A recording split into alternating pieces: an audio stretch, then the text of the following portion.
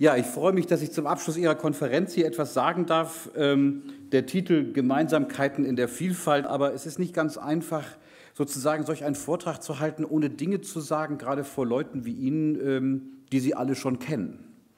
Oder Dinge, die, sagen wir mal, in einem Kreis wie diesem mit relativ wenig Aufwand stark zustimmungsfähig sind. Eine der schlimmsten Dinge, die es gibt, ist zu schnelle Zustimmungsfähigkeit. Dann denkt man nämlich nicht mehr nach. Ich kann aber jetzt natürlich nicht aus äh, künstlichen Gründen Sachen erzählen, die nicht zustimmungsfähig sind, weil da müsste ich womöglich Dinge sagen, die ich selber nicht vertrete. Aber äh, womit ich ein bisschen hadere, das ist tatsächlich der Grundbegriff Ihrer Konferenz, nämlich der Integrationsbegriff. Und ich hadere damit nicht äh, deswegen, weil ich was gegen Integration hätte, sondern ich hadere damit als Wissenschaftler, als Soziologe. Und ich bin mir ziemlich sicher, dass solche wissenschaftlichen Begriffe, und das ist ein Begriff, der stammt in der Tat aus der Wissenschaft, ich werde Ihnen das gleich sagen, übrigens aus einer Wissenschaft, die Sie erstmal jetzt gar nicht erwarten werden. Ähm, ich glaube, dass solche Begriffe in öffentliche Diskurse diffundieren und mehr Bedeutung mitschleppen, als diejenigen, die den Begriff verwenden, womöglich wissen. Und deshalb möchte ich Ihnen heute, äh, und ich erlaube mir den Titel meines Vortrags ein bisschen abzuwandeln, ähm, provokativ Desintegration als Ziel verkaufen und einen anderen Blick auf das Migrantische zu richten, und zwar jenseits von naiver Schwärmerei und prinzipieller Feindschaft. Bevor ich über den Integrationsbegriff etwas sage, das Schlimme, muss man sagen, an den öffentlichen Diskussionen zurzeit über Migrationsfragen und die Fluchtfrage ist ja nur eine der Migrationsfragen, die zu diskutieren sind, ist, dass es eigentlich nur Schwarz und Weiß im Moment gibt. Wir finden in der öffentlichen Diskussion Leute, die vergleichsweise unbedingt pro Migration oder pro Flucht reden und brauchen dafür eigentlich wenig Argumente. Und wir finden Leute, die prinzipiell gegen alles sind, was irgendwie migrantisch ist. Man kann die Ersteren darüber aufklären, dass, ich habe es vorhin schon gesagt, zu große Zustimmungsfähigkeit womöglich manche Facette nicht sieht. Und man kann den Zweiteren sagen, dass sie dann womöglich auch auf ihre eigene Geschichte gucken müssen, denn zumindest Europa als Kontinent ist bis jetzt nichts anderes gewesen als das Ergebnis von Migrationsprozessen. Wenn Sie am Anfang vielleicht eine etwas humorige Form erlauben, was ist gelungene Integration? Gelungene Integration ist, ich habe in Gelsenkirchen Abitur gemacht, deshalb ein Beispiel aus dem Ruhrgebiet. Also in Parenthese gesagt, wenn ich nach meinem Migrationshintergrund gefragt werde, Sie hören an meinem Nachnamen, dass das kein westfälischer Landadel ist, ähm, mein Vater ist 1954 zum Studieren aus dem Iran nach Deutschland gekommen und geblieben. Meine Mutter war Schwäbin, also beide, beide keine Deutschen, aber, äh, ich, aber ich bin es dann geworden. Ähm, Sorry, das wollte ich jetzt gar nicht sagen eigentlich. Aber äh, jetzt ernsthaft gesprochen, wenn ich dann, na, ernsthaft ist übertrieben, wenn ich nach meinem Migrationshintergrund gefragt werde, pflege ich immer zu sagen, dass man mit Gelsenkirchener Abitur bayerischer Ordinarius werden kann. Das ist in der Tat hoch unwahrscheinlich. Aber nun ernsthaft. Nun ernsthaft. Ähm, dass die Menschheit sowieso aber vor allem Europa als Kontinent immer das Ergebnis von Migrationsprozessen war, kann man, wenn man Integration wirklich ernst nimmt, und das ist einerseits humorig, andererseits nicht, sagen, gelungene Integration würde heißen im Ruhrgebiet, wenn Menschen, die viele Konsonanten im Nachnamen haben, auf Polacken schimpfen. Und das ist, hört sich jetzt blöd an, aber es ist nicht blöd. Also Sie wissen, polnische Namen pflegen äh, mehr Konsonanten als Vokale bisweilen zu haben. Das ist in anderen Sprachen etwas schwieriger. Und diese Namen finden Sie in einem Gelsenkirchener oder Essener oder Wanne-Eickeler ähm, äh, oder Dortmunder Telefonbuch bis heute. Und es ist ganz interessant, das ist ungefähr so 150 Jahre her, seit diese Migration stattgefunden hat. Man kann sagen, das Ruhrgebiet als Industrieregion wäre ohne die Arbeitsmigration der damaligen übrigens katholischen Polen, die ähm, in eine Region kamen, in der vor allem die katholische Kirche für die sogenannte Integration beigetragen hat. Ähm, bis heute gibt es übrigens in allen Ruhrgebietsstädten noch polnischsprachige katholische Gemeinden, was hochinteressant ist.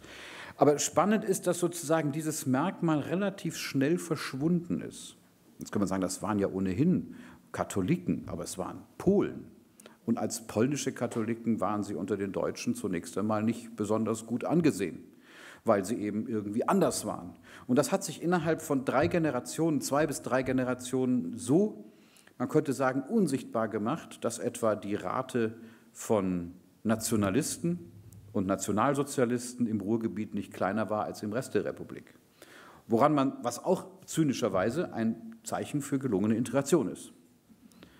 Das heißt, solche Merkmale pflegen mit der Zeit zu verschwinden. Und derjenige, der in Deutschland die Migrationsdebatte vor etwa sieben Jahren besonders befeuert hat, ist ein ehemaliger Hugenotte, wie Sie wissen.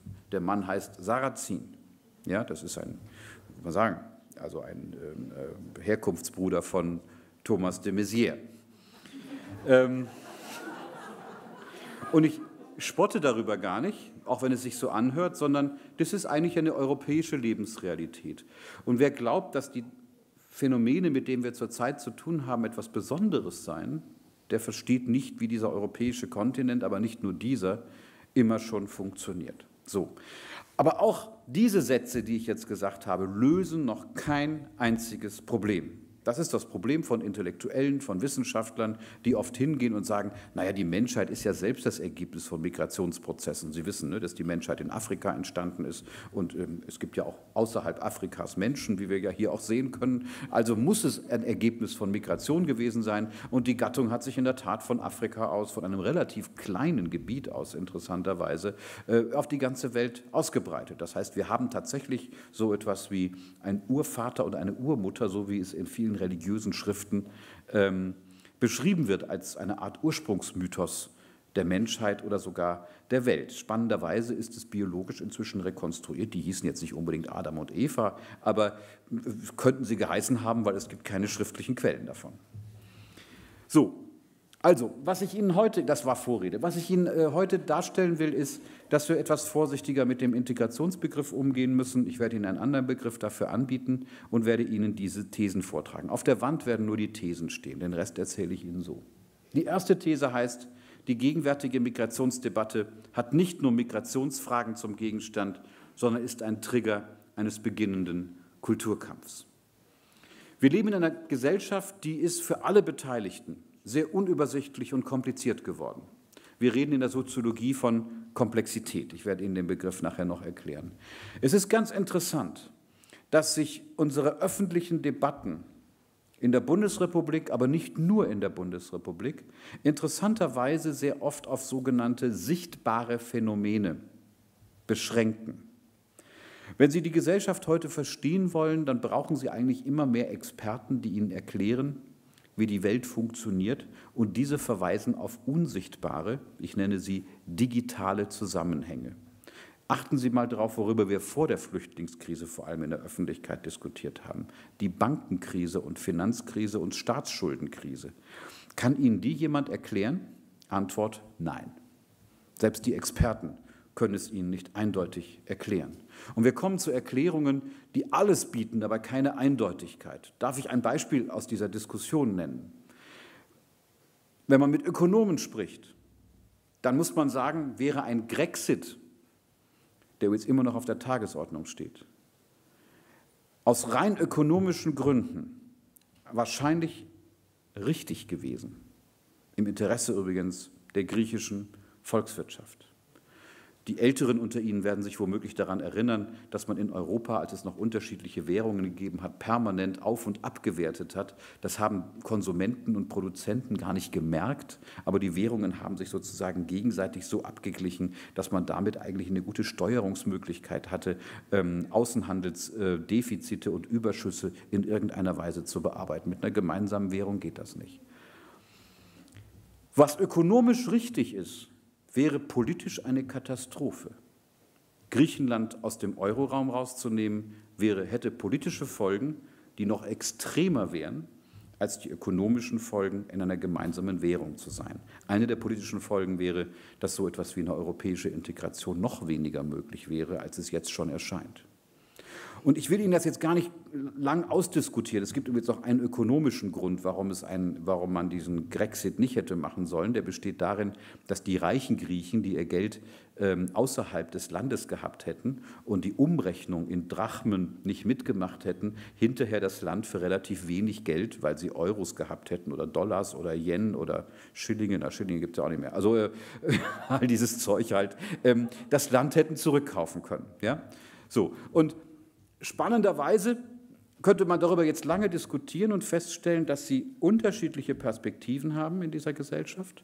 Und das eine erscheint aus der Perspektive richtig und aus der anderen falsch. Erklären Sie das mal den Leuten. Man dafür gibt Soziologen zu sagen, dass es so sei. Und es ist nur ein Beispiel. Sie können bei fast allen anderen Beispielen etwas Ähnliches finden. Manche von Ihnen beschäftigen sich vielleicht, weil sie aus ähnlichen Sektoren kommen, aus, mit, mit, der Frage etwa der Inklusion der Begriffe, die in einem anderen Zusammenhang gleich nochmal kommen. Also es geht um die Frage, wie Menschen mit Handicaps in Bildungsinstitutionen integriert werden sollen oder nicht. Ne? Da gibt es äh, Leute, die sagen, aus moralischen und bestimmten Gründen überall, überall alle. Aus wissenschaftlichen Gründen wissen wir inzwischen, dass das womöglich nicht die richtige Lösung für alles ist. Und ich, ich, ich will jetzt gar keine Position vertreten, ich will nur sagen, sich widersprechende Sätze können richtig sein, beide. Und das ist ein Problem. Und deshalb wird es immer deutlicher, dass in öffentlichen Diskursen sich die Politik, vor allem populistische Formen der Politik, auf Sichtbares kaprizieren. Auf Sichtbares heißt, Migranten sind ein Gottesgeschenk für diejenigen, die die Welt einfacher erklären wollen. Sie sehen anders aus, sie reden anders, haben einen anderen kulturellen Hintergrund. Noch besser ist, wenn sie eine dunklere Hautfarbe haben, weil es ist noch sichtbarer. Und das meine ich gar nicht zynisch, sondern das Interessante ist ja, dass ostentative Merkmale uns mit Informationen versorgen, und zwar mit mehr Informationen, als eigentlich da sind. Und insofern kann man tatsächlich sagen, dass die gegenwärtige Debatte über Migration eben nicht nur über Migration geht, sondern ein Symbol ist für eine Gesellschaft, die sich offenbar selbst immer schwerer beschreiben und erklären kann. Und darin entsteht so etwas wie ein Kulturkampf. Ich werde in der allerletzten These darauf auch nochmal zurückkommen. Aber dieser Kulturkampf besteht darin, dass wir in der Gesellschaft schon Leute unterscheiden können. Auf der einen Seite diejenigen, die mit Abweichungen relativ leicht umgehen können. Das sind meistens urbane, relativ gebildete, ökonomisch nicht ganz abgehängte Mittelschichten. Und es gibt Gruppen in der Gesellschaft, das muss man schlicht auch empirisch zur Kenntnis nehmen, die diese Ressourcen nicht haben. Und das hat wenig mit ökonomischen Ressourcen zu tun, aber viel mit Erfahrungsressourcen, mit Abweichung und Pluralität umgehen zu können. Meinen Studenten versuche ich immer zu erklären, sie sollten sich diese Gesellschaft mal ganz ohne Migrationsfolgen vorstellen und vergleichen die heutige Gesellschaft mit der der 1950er Jahre. In den 1950er Jahren gab es eine relativ klare Zuordnung der Menschen zu Konfessionen, zu Milieus, zu Familien, zu Regionen. Heute gibt es mehr internationale Mobilität, als es Binnenmobilität in Deutschland in den 1950er Jahren gegeben hat. Das müssen Sie sich mal vorstellen. Ne, da war es schon eine Information, ob man in München oder in Nürnberg lebt. Heute kann man fast despektierlich als Münchner zumindest sagen, dass Nürnberg im S-Bahn-Gürtel von München liegt. Das wollen Sie natürlich nicht hören, ist klar, aber der ICE braucht nur eine Stunde. Ich brauche ja, brauch also von zu Hause zu meinem Institut auch nur 45 Minuten. Das ist nicht viel länger. Äh, nicht viel länger ist jetzt mathematisch sehr gewagt. Es ist nicht viel kürzer. ja, also, spannenderweise gibt es diesen Kulturkampf. Und man muss leider Gottes sagen, dass die politischen Akteure, die großen politischen Akteure, diesen Kulturkampf nicht früh genug wahrgenommen haben. Ich rede noch nicht über Migration. Wenn Sie sich angucken, die beiden großen politischen Kräfte der Bundesrepublik, und Deutschland ist ein, das stabilste Land, was man sich im politischen Raum überhaupt vorstellen kann, europaweit. Ne? Also denken Sie an unser Parteiensystem, das sich ja kaum geändert hat. Denken Sie an, den, an, an, die Länder um uns herum, was sich dort im Parteiensystem geändert hat. Als ich mich angefangen habe, für Politisches zu interessieren, für Politisches zu interessieren, da gab es in Italien noch die Democrazia Christiana. Können Sie sich an die erinnern?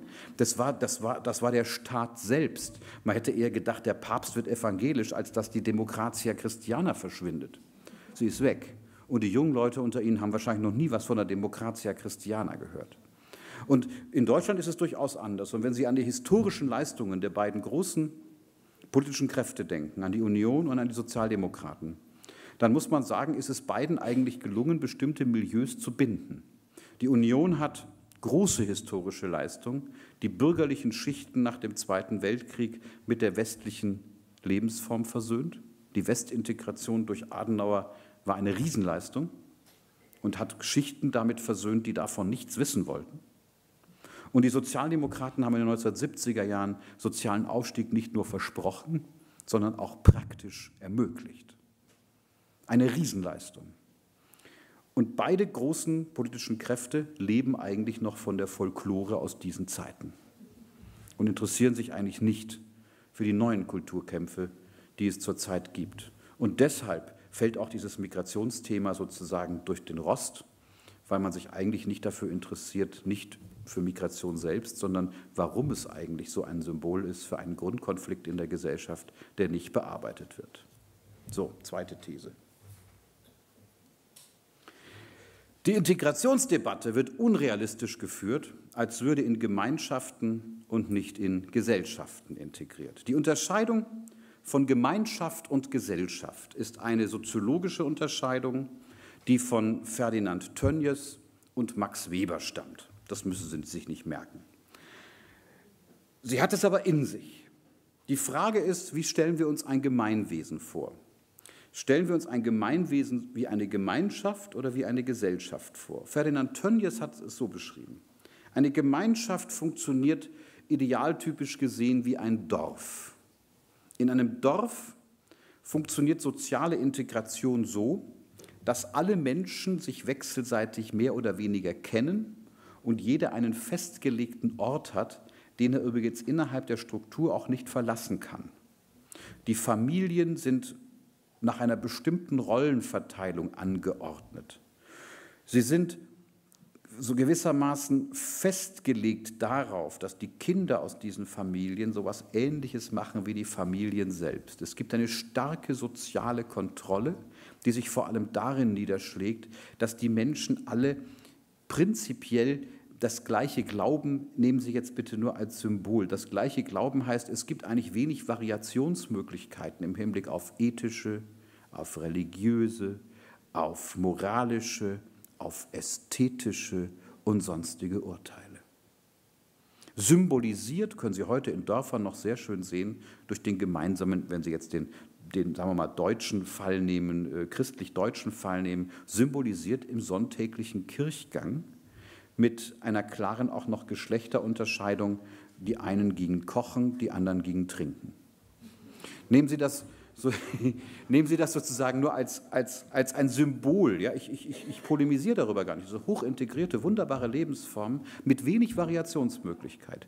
Wenn dort von außen jemand kommt, bleibt ihm eigentlich nichts anderes übrig, als dazugehören zu wollen. Und all das, was dort geschieht, mitzumachen. Das heißt, Integration würde hier bedeuten, so, sozusagen die Leitkultur eines solchen Ortes aufzusaugen und mitzuleben. Da gab es nämlich sowas wie eine Leitkultur. Der Soziologe ähm, Emil Dürkheim, Begründer der frankophonen ähm, Soziologie, sprach von einer Conscience collective, von einem Kollektivbewusstsein, das in solchen Sozialstrukturen da war. Das können Sie zum Teil heute noch in gut funktionierenden Dörfern tatsächlich sehen. Die funktionieren heute natürlich anders. Aber das ist eigentlich der Idealtypus von Gemeinschaft. Eine Gesellschaft funktioniert anders. Eine Gesellschaft, und da hat Tönnies gesagt, das ist wie eine Großstadt funktioniert, wenn Sie so als Bild wollen. In einer Großstadt bewegen Sie sich und treffen am Tag ganz viele Leute, die Sie nicht kennen, die Ihnen fremd sind und fremd bleiben. Sie haben aber mit viel mehr Menschen zu tun als auf dem Dorf. Und sie begegnen diesen Menschen in dem, was Soziologen Partialrollen, also Teilrollen nennen. Also wenn ich eine Fahrkarte kaufe, gut, heute kauft man das alles im, äh, mit dem iPhone, aber wenn man noch an einen Schalter gehen würde und würde sagen, ich hätte gerne einen Fahrschein nach Nürnberg, ne, dann wird der Mensch am Schalter mich wahrscheinlich nicht in ein Gespräch darüber verwickeln, wie ich denn meine Kindererziehung organisiere. Ja, oder ob ich an die Fleischwerdung Gottes in Jesus, Christus glaube. Nehmen Sie das nicht als witziges Beispiel. Das sind ja Themen, über die man reden kann, aber nicht am Fahrkartenschalter. Und wenn ich zu einem Priester gehe, in einem großstädtischen Zusammenhang, dann ist, gilt es umgekehrt. Ne, der wird sich viel weniger dafür interessieren, wo ich hinfahre, als das in früheren Sozialformen der Fall gewesen ist. Wenn ich zum Arzt gehe, ist es eine, ich, der sieht mich womöglich nackt oder guckt in mich rein. Ja, also noch viel tiefer, als man selber gucken kann der weiß mehr über die Funktionen meines Körpers als ich selbst. Zum Teil geht es um ganz intime Dinge, Krankheiten, Tod, Sexualität. Aber alles andere interessiert ihn gar nicht. Und es wäre befremdlich, wenn er darüber reden würde. Ich halte vor Ihnen einen Vortrag und über mich müssen Sie nur die hübschen Sätze wissen, die man über so einen Professor sagt. Ne? Über mich wissen Sie dadurch nichts und das ist gut so. Und ich weiß über Sie auch nichts und das ist gut so. Und das ist vor allem nicht nötig. So eine Gesellschaft zeichnet sich dadurch aus, dass wir Geschäfte zum Beispiel miteinander machen können, nicht obwohl, sondern weil wir nicht eng miteinander gekoppelt sind. Das ist interessant, die Händler, sagt Tönnies, Adam Smith hat das auch beschrieben, die Händler sind eigentlich diejenigen, die die, die erste Sozialform waren, die so, die so toll waren, dass sie eigentlich sozusagen die Dörfer abgeklappert haben und überall eigentlich nur in der Teilrolle des Händlers relevant waren. Ne? Deshalb waren das übrigens oftmals auch Leute, die ein bisschen aus der Struktur herausgefallen sind. Interessanterweise war das unter anderem eine der Funktionen, die Juden in der europäischen Gesellschaft hatten, weil sie zum Teil in den städtischen Strukturen nicht aufgehoben werden konnten. So, wie, wird, wie kommt man in so eine Gesellschaft rein? Also stellen Sie sich vor, Sie kommen als Fremder oder Fremde in eine Stadt. Was machen Sie da den ganzen Tag? Sie versuchen, unterschiedliche Andockstellen zu finden, die sie selbst organisieren müssen. In der Gemeinschaftsstruktur organisieren sie nichts selbst. Da ist alles schon für sie organisiert. Ich sage meinen Studenten immer, wenn sie das ästhetisch verstehen wollen, stellt euch vor, ihr würdet mit einem Aufnahmegerät für Interviews mit einer Zeitmaschine ins Mittelalter äh, zurückversetzt und sollt Interviews mit, biografische Interviews mit den Leuten machen und fragt mal jemanden auf einem Dorf, wann haben sie sich entschieden, Bauer zu werden? Er wird die Frage nicht verstehen. Ja? In einer modernen Gesellschaft wie heute gibt es auch viele Bauern, die natürlich gar nicht darüber nachgedacht haben, ob sie es werden sollen oder nicht, die aber Gründe dafür nennen können, warum sie es geworden sind, weil sie danach gefragt werden können und auch gefragt werden.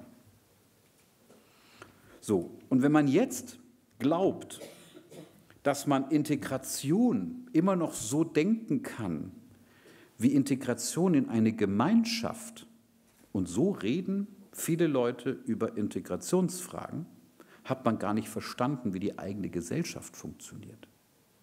Also diese Debatten werden unrealistisch geführt. Es wird so getan, als würden Leute von außen kommen und müssten sich die europäische oder die deutsche oder die christliche oder wie auch immer man die Kultur nennen, da soll die fränkische oder die bayerische Kultur vorstellen und müssten die jetzt übernehmen, um dort zu leben. Natürlich muss man das eine oder andere übernehmen. Also dass überhaupt öffentliche Diskurse darüber geführt werden, ob Migranten, wenn sie kommen, die Sprache lernen sollen oder nicht, das finde ich irre. Anstatt darüber nachzudenken, wie kann man so viele Angebote machen, dass die gar nicht auf die Idee kommen, die Sprache nicht zu lernen. Ja? Und, wer es, und wer es nicht tut, dem müsste man durchaus äh, mit geeigneten Mitteln auch, sagen wir mal, darauf hinweisen, dass selbst äh, Oberbayern Hochdeutsch lernen müssen heute. Ich halte seit 20 Jahren meine Vorlesung in München immer noch nicht in der Landessprache. Nach 25 Jahren mache ich das. ja. ähm, so, also ich hoffe, es ist ein bisschen, man müsste dazu noch viel mehr sagen, aber es ist ein bisschen deutlich geworden, dass wir den, damit ist auch noch nichts über Migration selbst gesagt oder gesagt, dass das alles einfach ist. Einfach ist, was Migration angeht, überhaupt nichts. Null. Das ist, also, das ist nicht die Botschaft zu sagen, naja, wenn wir jetzt die Begriffe umstellen, ist alles gut. Einfach ist gar nichts. Es ist riesenkompliziert und saumäßig anstrengend für alle Beteiligten. Für die, Auf, für die Aufnahmegesellschaft und für Migranten. Immer. Immer gewesen, wird immer so bleiben. Wer was anderes erwartet, ist naiv.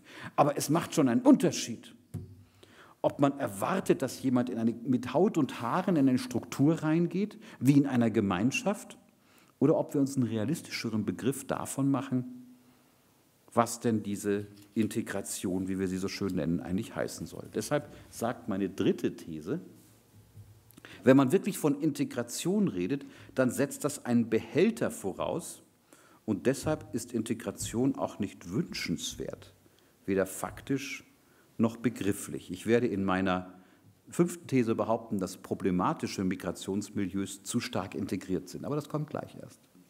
Also Integration setzt einen Behälter voraus, der sozusagen so tut, als seien wir Teile eines Behälters.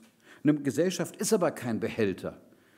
Also eine Behälter können Sie sich vorstellen, ne, dass man irgendwie da drin ist. Und wenn man drin ist, ist man drin mit Haut und Haaren und kommt auch nicht wieder raus. Eigentlich sind wir in der modernen Gesellschaft immer raus. Wer von Ihnen hat Kinder? Sie wissen, was das große Problem ist, Kinder großzuziehen. Also abgesehen davon, dass die was sie so sonst so überhaupt machen. Aber ähm, was, was heißt das eigentlich, die großzuziehen? Was heißt es, dass die aus ihrer Kindheit in eine Jugend- und Erwachsenenleben reinkommen? Es heißt eigentlich nicht, dass sie in einen Behälter reinkommen, nur dass sie in dieser Gesellschaft sind, sind die noch lange nicht da, sondern sie müssen in der Lage sein, selbst einen Ort in einer Gesellschaft zu finden, die nicht auf sie gewartet hat. Niemand hat auf irgendjemand von ihnen gewartet. Sie sind der Gesellschaft alle vollkommen egal. Nicht konkreten Leuten, aber der Gesellschaft selbst. Es gibt für niemanden einen vorhergesehenen Platz. In früheren Gesellschaften gab es genau diesen Platz. Den gibt es heute nicht. Zum Beispiel müssen wir uns unsere Arbeits, also Arbeitsstelle ist gut, wir müssen entscheiden, was lernen wir, auf welche Schulen gehen wir, welchen Beruf ergreifen wir. Wir müssen sogar unsere Ehepartner selbst suchen. Das ist eine historisch vergleichsweise späte Erfindung. Also auch hier, wir denken jetzt irgendwie an, äh, an, äh, an äh, muslimische Kulturen oder so etwas. Ja? Das ist hier auch so gewesen. Die Ehen waren eigentlich immer arrangierte Ehen, weil die Ehe vor allem eine ökonomische Veranstaltung gewesen ist. Hm? Und jetzt soll man das selbst entscheiden. Dafür hat man übrigens die romantische Liebe erfunden, als eine Art, sagen wir mal, unrealistischer Blick auf den anderen, der Warum lachen Sie darüber? Ist doch so. Also ein unrealistischer Blick auf den anderen, der gewissermaßen mit unsicher, unsicheren Zukünften umgeht und damit sozusagen stärkere Emotionen produziert, damit diese Entscheidung leichter wird. So beschreibt der Soziologe romantische Liebe. Weil die Gesellschaft eben kein Behälter ist, bei dem jeder immer schon einen Platz hat. Und das Spannende ist zu sehen, dass das Leben in einer modernen Gesellschaft genau deswegen unglaublich anstrengend ist. Es ist viel anstrengend. Es ist, es ist, sagen wir mal, komfortabler als in früheren Gesellschaften, weil es Gesundheitsversorgung gibt, weil es mehr Hygiene gibt, weil es in dieser Gesellschaft, zumindest in unseren Regionen, keinen Hunger gibt. Übrigens auch interessanterweise auch weltweit gesehen immer weniger, auch wenn die sozialen Ungleichheitsverhältnisse in der Welt radikal groß sind. Aber auch das ist sozusagen nicht nur so, dass sich nur bei uns in unseren Regionen etwas entwickelt. Es entwickelt sich überall interessanterweise, selbst in Regionen, die schlecht regiert sind. Wir haben pazifizierte Räume, also befriedete Räume, die wir uns in früheren Gesellschaften nicht vorstellen konnten. Wir können durch Großstädte gehen, zumindest durch die meisten Teile der Großstädte, ohne bedroht zu sein. Und wir sind uns einander fremd. Und was das für eine Ressource ist, das wissen diejenigen, denen das nicht gelingt. Und das gelingt interessanterweise Leuten, die ein ostentativ sichtbares Merkmal haben, andere zu sein, weniger. Ja? Also wenn ich sie ansprechen darf, ja, also wenn man schwarz ist, wird man wahrgenommen als schwarz. Ja? Ich sehe sie auch. Also das ist eine interessante erkenntnistheoretische Idee. Versuchen Sie mal an einem Schwarzen oder einer Schwarzen oder jemandem mit dem Kopftuch oder sonst was vorbeizusehen. Wenn Sie das bewusst tun, sehen Sie erst recht Und diejenigen, an denen sie bewusst vorbeigucken, sehen das auch erst recht. Das heißt, es ist ganz spannend, dass man an diesen Beispielen sehen kann, was das für eine Ressource ist, nicht gesehen zu werden. Das ist eine, das ist also die Kulturkritik immer zu sagen, wir seien in dieser Gesellschaft vereinzelt oder keine Freunde. Eine Gesellschaft, die auf Freundschaft aufgebaut werden muss, wird automatisch eine autoritäre Gesellschaft. Wir müssen nicht Freunde sein. Wir müssen uns indifferent miteinander verhalten, zivilisiert und indifferent. Der andere muss uns egal sein. Fahren Sie mal in Städte, in denen die Menschen diese Diversität anders aushalten. Ähm, die, die Stadt, an der man das vielleicht am besten lernen kann, ist New York City.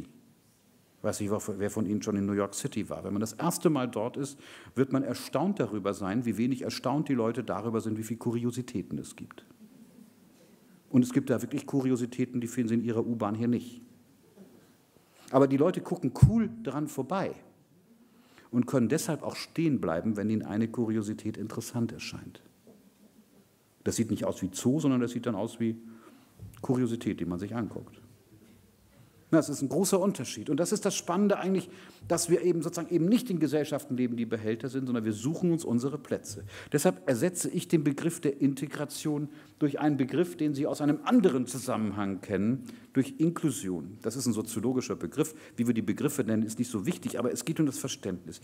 Inklusion in der modernen Gesellschaft ist eine unkoordinierte Form multipler Andockstellen und Ausdruck gesellschaftlicher Komplexität. Multiple Andockstellen, das ist das Wichtigste. Denken Sie mal an Ihr eigenes Leben. Woraus besteht das? Sie sind Menschen, die Familien angehören. Ne? Alle. Selbst diejenigen, die nicht mit ihrer, nichts mit ihrer Familie zu tun haben wollen, müssen das aktiv tun. Ne? Die gehören einer Familie an. Sie haben eine Arbeitsstelle. Wenn Sie keine haben, suchen Sie eine. Das heißt, sie sind beruflich irgendwie in die Gesellschaft integriert oder inkludiert. Sie sind politischer Bürger oder Bürgerin. Sie lesen Massenmedien. Sie unterscheiden sich im Hinblick auf Konsumstile. Konsum ist, wird total unterschätzt. Konsum individualisiert uns unglaublich mit paradoxen Vorgängen. Ne?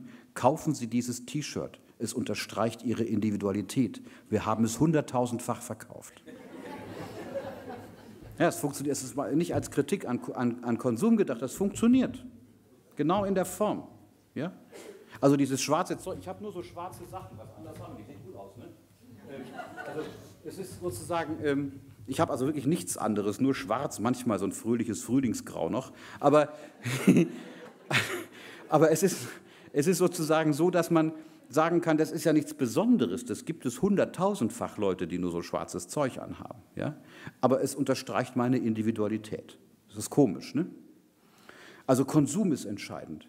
Ähm, es ist auch die Idee, dass wir eine biografische Geschichte über uns selbst erzählen können. Jeder von uns, wenn er gefragt wird, wer er ist, kann eine relativ individuelle Geschichte über sich erzählen. Historisch eine späte Erfindung, das gibt es noch nicht so lange. Dass es überhaupt Anlässe gab, sich zu erzählen. Also im christlichen Bereich ist es die Beichte gewesen als eine der ersten Institutionen, die uns dazu gezwungen hat zu sagen, ob ich mir selbst erklären kann, warum ich eigentlich einen Fehler gemacht habe, den man Sünde nennt. Noch schlimmer ist, wenn man auf keinen Fehler kommt. Das ist Ausdruck der Erbsünde, dass ich nicht kritisch genug bin mir gegenüber. Sie lachen, Sie gehen offenbar nicht zur Beichte. Oder sind Protestanten, die machen das am Tisch und tun das, als wäre das eine Alltagssituation. Ne? Ich bin Katholik. so, also nehmen Sie es nicht als Witziges, sondern das sind die Andockstellen an die Gesellschaft. Und das wird uns allen selbst zugerechnet. Wenn Sie keine Arbeit haben, dann können Sie nicht hingehen und sagen, na, die Konjunktur war schlecht, sondern man fragt man, welche falschen Entscheidungen haben Sie im Hinblick auf Ihre Qualifikation eigentlich gemacht. Und wenn Sie zu lange keine Arbeit haben, dann wird die Stadt oder ein sonstiger Akteur hingehen und Sie in Qualifikationsmaßnahmen stecken und Ihnen etwas beibringen, womit sie wahrscheinlich hinterher nichts anfangen können, weil die Kurse voll werden müssen und zu viele diese Zusatzqualifikation bekommen haben. Paradoxe Form.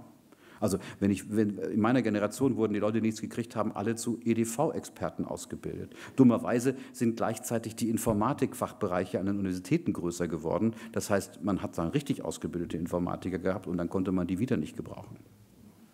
Also es geht um die individuellen Andockstellen an die Gesellschaft Und das gilt für Migranten und für Nichtmigranten gleichermaßen. Nur, für Migranten ist es natürlich komplizierter. Also was, was mich vor allem an den linksliberalen, soll man sagen, ähm, Befürwortern von Migration so nervt, wirklich nervt, muss ich sagen. Das ist eine überhebliche Form, die bisweilen hinkommt. Die, die sage, warum es eigentlich nicht gelingt, das völlig unproblematisch zu halten, die Sache mit der, mit der Integration oder der Inklusion. Natürlich ist es schwierig, in so einer Gesellschaft Andockstellen zu finden. Und jedes Merkmal, das sie haben, dass sie bei der Suche nach diesen Andockstellen in irgendeiner Weise, was soll man sagen, benachteiligt ist vielleicht der falsche Ausdruck, irgendwie abweichen lässt, erhöht die Wahrscheinlichkeit, dass es schwieriger ist, die richtigen Positionen zu bekommen. Das ist übrigens nicht nur ein migrantisches Schicksal, sondern das gilt auch für alles andere. Also die Gesellschaft ist immer noch, obwohl Schichtung inzwischen eine völlig andere Bedeutung hat als noch vor zwei Generationen, sehr stark durch Schichtung geprägt. Also wir würden ja immer sagen, dass so viele Leute Abitur machen, ist eigentlich ein, eine tolle, wie soll man sagen, Demokratisierung der Gesellschaft. Stimmt zum Teil gar nicht. Weil dadurch nämlich durch die Hintertür die habituellen Dinge, die jemand aus einem bürgerlichen Haushalt bekommt, eine größere Bedeutung bekommen als das vorher der Fall war. Mit den habituellen meine ich, man kann Leuten ansehen, ob sie aus einem bildungsnahen oder bildungsfernen Haushalt kommen. Und die, die aus dem bildungsnahen kommen, haben meistens Ressourcen ihr Leben lang, die andere schwer kompensieren können. Man kann sagen, das ist doof. Okay, ist auch vielleicht doof, aber es ist so. Pierre Bourdieu, einer der größten Soziologen, die gelebt haben, hat ein Buch geschrieben, 1968 die Illusion der Chancengleichheit.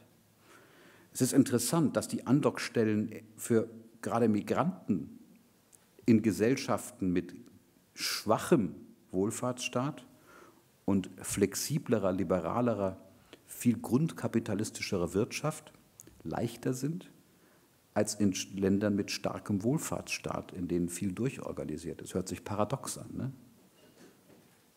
Die Unternehmerquote in klassischen Einwanderungsländern, die fast alle eher wirtschaftsliberale Länder sind, ist höher als in Ländern wie unseren. Das ist kein Plädoyer dafür, den Wohlfahrtsstaat abzuschaffen. Also denken Sie nicht, ich mache jetzt hier Trumponomics oder sowas, sondern es ist aber ein empirisch interessanter Sachverhalt, der genau damit zu tun hat.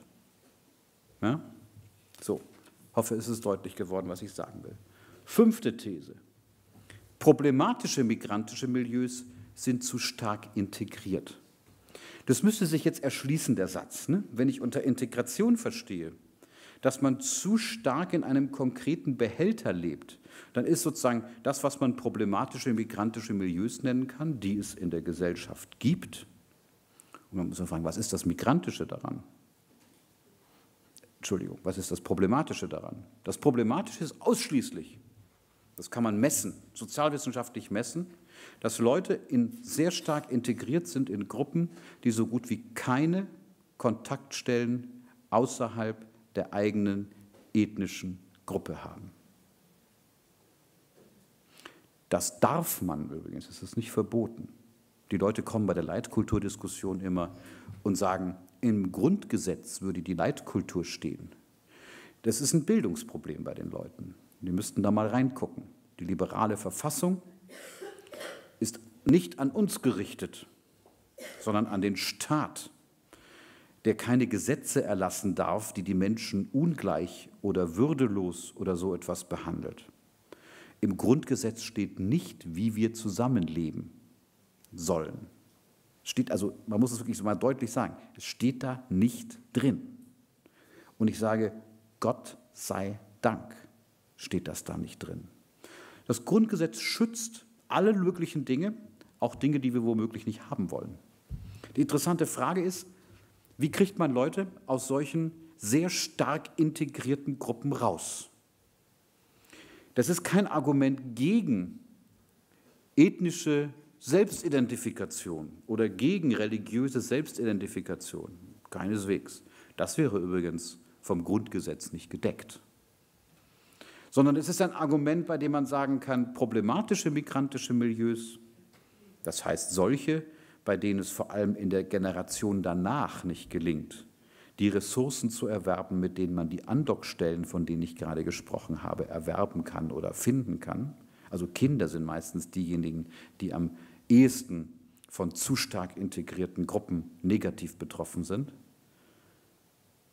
Bildungsverlierer in der dritten Generation der Arbeitsmigranten. Also das ist eine ganz spannende Geschichte, ne? wenn Sie die Arbeitsmigration äh, sich angucken. Wissen Sie eigentlich, wer die problematischste Gruppe von den Arbeitsmigranten war? Welche, aus, die, aus welchem Land die kamen? Raten Sie mal. Bitte? Italien. Ne? Das sind Katholiken und gute Fußballer. Also Leute wie wir. Also die Türken sind auch gute Fußballer, aber keine Katholiken. Ja? Und ernsthaft gesprochen, spannenderweise, also eine Gruppe, bei der man jetzt nicht sagen würde, das ist eine total kulturell unfassbar fremd, kann nicht funktionieren oder religiös, ähm, wie soll man sagen, ähm, verdächtig, soweit man Katholiken nicht für religiös verdächtig hält. Es gibt Regionen, auch hier in der Gegend, wo man das in der Tat denkt. Also in den USA ist es im ganzen mittleren Westen, äh, sind, werden Katholiken gar nicht als Christen zum Teil, kein Witz, ne, das äh, betrachtet. Aber das wollte ich jetzt nicht diskutieren. Spannend ist, dass es sozusagen Gruppen sind, die, denen es nicht gelang, durch sehr starke Orientierung an der eigenen Ausgangsgruppe die Fähigkeiten zu entwickeln, in dieser Gesellschaft fremd zu werden. Also fremd im Sinne von, dass das ethnische Merkmal nicht das einzige ist, was Informationen über sie produziert. Das ist ein wichtiger Hinweis, soziologisch gesehen, für alle sogenannten Randgruppen. Also Randgruppen wären die, die zahlenmäßig kleiner sind als der Rest und Frauen. ähm, wo man sagen muss, dass dieses Merkmal nicht das einzige ist, was wir als Information brauchen, um etwas über die Person zu sehen. Also nehmen wir mal ein ganz anderes Beispiel. Ein Rollstuhlfahrer ist dann gut integriert, wenn der Rollstuhl aus dem Blick gerät. Dann kann man übrigens mit dem Rollstuhlfahrer Witze über den Rollstuhl machen vorher nicht. Dass sozusagen die Rollstuhlfahrer, also Sie kennen das ja, ne, dass viele, viele sozusagen daraus selber einen Punkt machen und eigentlich den stark auch witzig zum Teil thematisieren, ist ein Hinweis darauf, das Rollstuhlfahren selbst zu entdramatisieren. Und das gilt auch für andere Merkmale. Und das ist interessanterweise ganz ähnlich, wenn Sie die ganze Geschichte der Frauenförderung sich angucken, haben Sie die interessante Paradoxie, dass Sie sagen müssen, wir müssen, wir wollen eigentlich das Geschlechts unsichtbar machen, müssen es dafür aber stark thematisieren. Ich bringe das in Berufungskommissionen an der Uni immer auf den etwas paradoxen Satz, diese Stelle muss mit einer Frau besetzt werden, weil das Geschlecht keine Rolle spielen darf. Und aus der Paradoxie kommen wir eigentlich nicht raus. Also, wenn über eine Person nur ein einziges Merkmal in den gesellschaftlichen Raum tritt, also ein Kopftuch zu tragen, schwarz zu sein, eine Frau zu sein, eine bestimmte Sprache zu sprechen, eine bestimmte Religion zu haben, was auch immer, dann haben wir es mit zu starker Integration zu tun. Und das Verrückte ist, dass es dort Kräfte von außen und von innen gibt, die das befördern. Also von außen, indem die Leute nicht daran gewöhnt sind, etwas anderes zu sehen. Und von innen als gewissermaßen Schutzmechanismus gegen ein Außen, und spannenderweise ist es, das wollte ich sagen, in der dritten Generation, gerade bei türkischen Migranten gewesen, dass dort erst das Religionsmerkmal diese Ressource geworden ist, eine Identität zu behaupten, die in der Gesellschaft sonst schwer zu kriegen war. Es ist spannend, dass die erste und zweite Generation das Merkmal des Muslimischen eigentlich gar nicht registriert hat, für sich selber in der Lebenspraxis schon, aber das wurde eigentlich nicht zur Kenntnis genommen groß. Das ist doch interessant, ne? Also, dass das Islamische eigentlich erst in Europa entstanden ist. Und da das Islamische zurzeit natürlich eine weltpolitische oder geopolitische Bedeutung hat, bietet es sich als identitätspolitisches Merkmal erst recht an.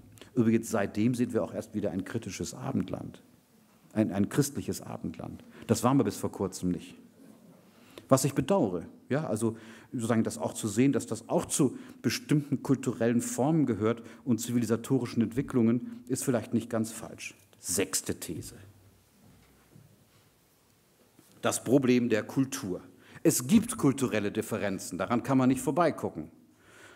Diese können aber nur praktisch und nicht per Verordnung oder konfessionell bearbeitet werden. Konfessionell meine ich nicht durch Bekenntnisse, Die ganze Leitkulturdiskussion geht in eine völlig falsche Richtung. Wir müssen uns daran gewöhnen, es gibt in der Tat kulturelle Differenzen. Die sind auch manchmal schwierig für alle Beteiligten. Und es gibt auch kulturelle, gerade bei sozusagen Migranten, die ähm, durch die Fluchtzusammenhänge hierher gekommen sind, das erfahren wir fast, oft, fast immer nur bei denen, die sozusagen selber einen gewissen Bildungshorizont haben und dann darüber berichten, etwa als Journalisten in der Süddeutschen Zeitung gibt es manchmal welche, die schreiben, wie, wie merkwürdig ihnen Selbstverständlichkeiten im modernen Alltag erscheinen. Das ist sehr interessant zu lesen. Ja? Man müsste vielleicht selbst auch mal öfter mal irgendwo hingehen und sehen, wie merkwürdig manche Dinge uns erscheinen und wie merkwürdig wir angesehen werden. Und es gibt ein Problem, muss man auch ganz klar sagen, mit bestimmten Formen des Islam. Das gibt es. Da kann man nicht dran vorbeigucken. Aber zu glauben, dass man über ein Bekenntnis, das man von den Leuten verlangt, das ostentativ ausgesagt werden muss, die Probleme bearbeiten kann, das ist naiv. Ich benutze den Begriff Kulturkampf. Diejenigen unter Ihnen, die sich da ein bisschen auskennen, wissen, dass es in Deutschland schon mal einen Kulturkampf gab. Unter Bismarck zwischen Katholiken und dem preußischen Staat. Na? Also so wie heute über Muslime geredet wird, wurde damals über Katholiken geredet. Und es ist, also gucken sich die, die Dokumente an, es war fast gleich. Man hat Katholiken nicht für Leute gehalten, die zurechnungsfähig sein können, weil sie Loyalität einem Machthaber gegenüber haben, der eigentlich dieses Land unterwandern will. Also dieses Land war Preußen. Also das Deutsche Reich war damals gewissermaßen unter preußischer Führung, wenn man so will, und hat dann viel, also preußisch-protestantischer Führung natürlich. So, und diese Idee, dass man das eigentlich nicht über Bekenntnisse nur machen kann, sondern immer nur praktisch, das ist das, was jegliche Form von Integrationspolitik leiten muss. Von den Leuten zu verlangen, zu unterschreiben, dass sie dem Grundgesetz äh, äh, zustimmen und dass sie die christlich-abendländische Kultur gut finden und dass sie anderen die Hand geben. Das ist bestenfalls naiv. Und das Schlimmste bei dieser Geschichte, die de Maizière vor zwei oder drei Wochen gemacht hat, war, ich meine, der ist ja kein schlechter Kerl, der de Maizière, wirklich, wirklich nicht, dass er das auch noch gut gemeint hat. Das ist die schlimmste Information daran. Also wenn das jetzt jemand wäre, der ein, irgendein Populist wäre, der, der sowas verlangt und genau weiß, dass man damit irgendwie eine blöde Form von Politik machen kann, dann wäre es ja okay. Dann kann man sagen, Spinner weg. Aber das ist er nicht. Und das ist eigentlich das, was sich sozusagen eine bestimmte konservative Form, jetzt völlig unabhängig von Parteizugehörigkeiten, so vorstellt. Ich möchte nicht wissen, wie die Bekenntnisse zu Deutschland, und zu den Praktiken, die wir rechtlicher Art hier so kennen und zur Demokratie von den meisten in der Bevölkerung semantisch konkret aussehen. Ich will es nicht wissen. Und die Dinge funktionieren auch, das weiß der Soziologe, nur wenn sie latent bleiben. Und sie müssen auch hier latent bleiben. Aber praktisch kann man das machen, wenn man sozusagen die Dinge sieht. Es ist unterstritten, ob die Kontakthypothese stimmt. Ja, also ob gemeinsamer Umgang die Dinge nivelliert. Aber das ist die einzige Form, mit der das geht.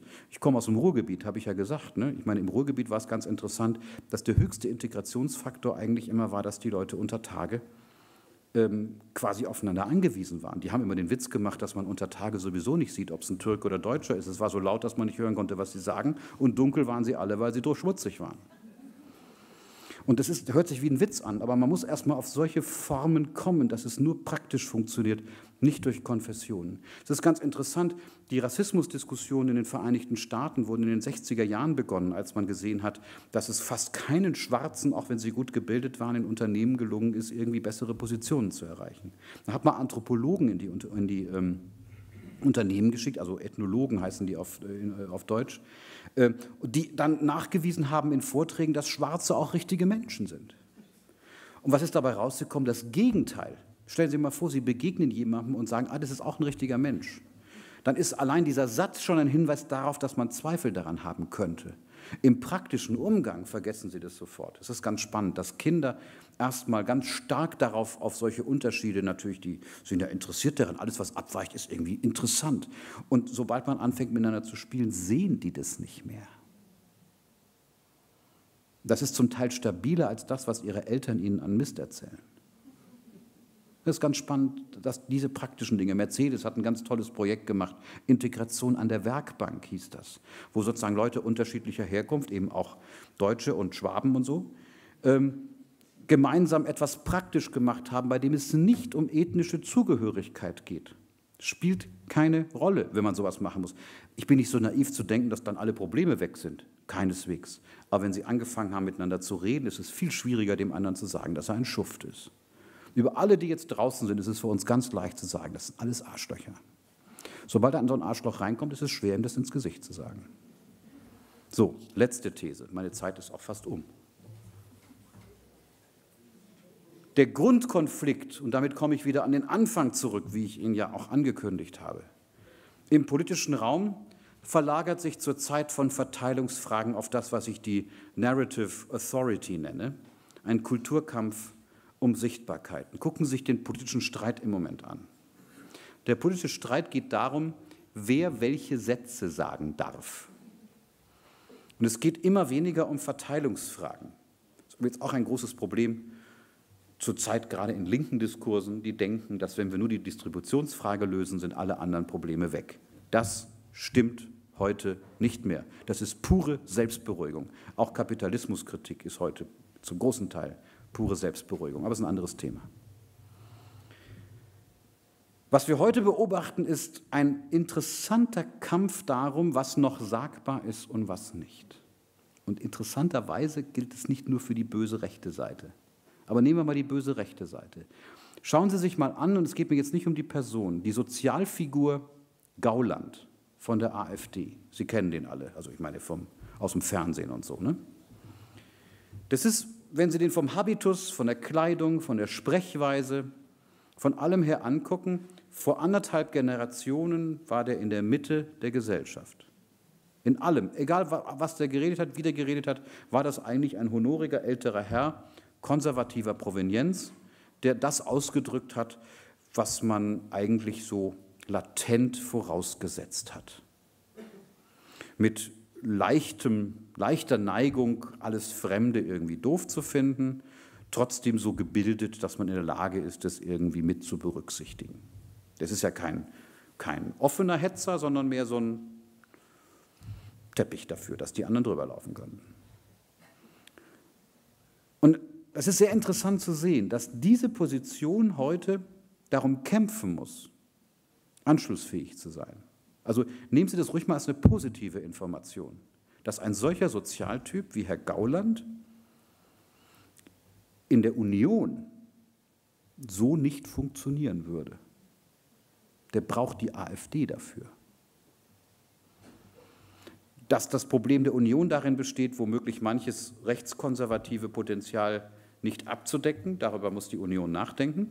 Die wollen bei den weiblichen Großstädtern punkten, Sie müssen bei den männlichen Kleinstädtern punkten, damit, es, damit das abgedeckt wird. Aber das ist eigentlich eine gute Information.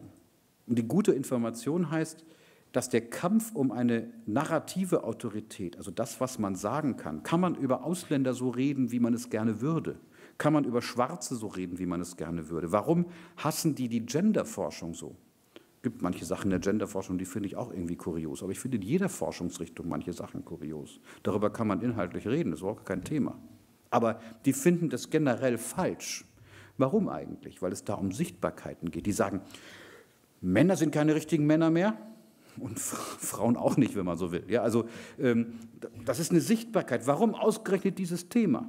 Bei allen anderen Themen, die mit Unsichtbarkeiten zu tun haben, haben diese diese Leute nichts zu sagen. Die haben kein Steuerkonzept, die haben kein Konzept für Sicherheitspolitik, die haben kein Konzept für Wirtschaftspolitik, die haben kein Konzept für Bildungspolitik, weil es alles viel zu kompliziert ist.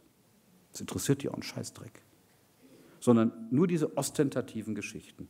Und wenn man tatsächlich sagen kann, dass dieser Kulturkampf heute genau darum geht, was die sagbaren Sätze sind, dann gilt das ehrlich gesagt auch für die andere Seite. Vieles von dem, was in der Flüchtlingsdebatte dann auch von linksliberaler Seite kommt, ist bisweilen zu wenig problemorientiert. Als geradezu Gegenbewegung tut man so, als gäbe es überhaupt gar keine Probleme. Das stimmt nicht. Ich würde sagen, so Leute wie wir, die sich dafür positiv interessieren, müssen eigentlich in der Lage sein, die Probleme so zu identifizieren, dass wir in diesem Land erstens richtig anerkennen, dass wir ein Einwanderungsland sind, und zwar schon lange. Dass wir es auch nicht wieder loswerden, das Merkmal, selbst wenn wir es wollten. Und dass man damit aktiver umgehen muss. Wir müssen positive Geschichten über Migration erzählen können. Die kann man in Deutschland erzählen. Im internationalen Vergleich sind wir echt ganz gut. Und wir müssen auch Fehlanpassungen, die es gegeben hat, angemessen diskutieren können. Dann brauchen wir keine AfD mehr, die ausprobiert, was eigentlich sagbar ist. Also das heißt sozusagen, man muss womöglich aus diesem Spiel austreten, dass sozusagen die zu negative Beschreibung zu positive Beschreibungen produziert. Sondern wenn man ein ausgeschlossener Dritter dieser Unterscheidung ist, dann ist man eigentlich derjenige, der in der Lage ist, dazu die angemessenen Sätze zu sagen.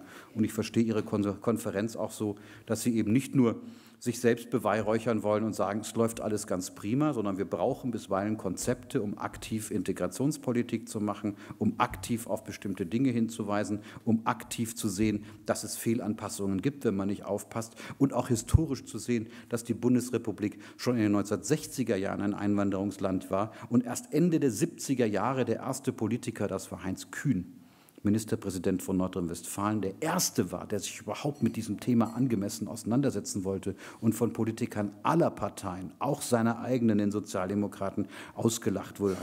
Die machen noch keine Probleme, die Türken. Natürlich machen sie keine Probleme, aber es gibt Probleme, die da sind und um die muss man sich kümmern. Und ich glaube, dass dieser Diskurs einfach geführt werden muss. Und zwar nicht nur von denen, die das im Kulturkampfmodus machen wollen. Ich wünsche Ihnen noch einen schönen Tag und danke für die Aufmerksamkeit. Applaus